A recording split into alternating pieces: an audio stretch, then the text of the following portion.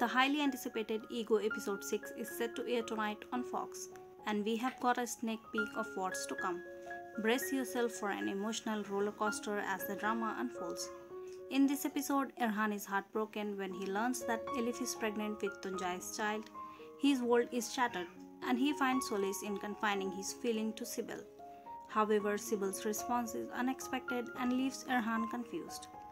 As Erhan prepares to enter an arranged marriage, he must confront his true feelings of anger and disappointment. Meanwhile, Sybil is pleased that Erhan and Elif's relationship is deteriorating. She even extends an invitation to Elif for her upcoming wedding. Unaware of the events that are about to unfold, with so much drama in store, you won't want to miss a single moment of Ego episode 6. Tune in tonight at 8 pm to witness the latest twists and turns in this gripping series.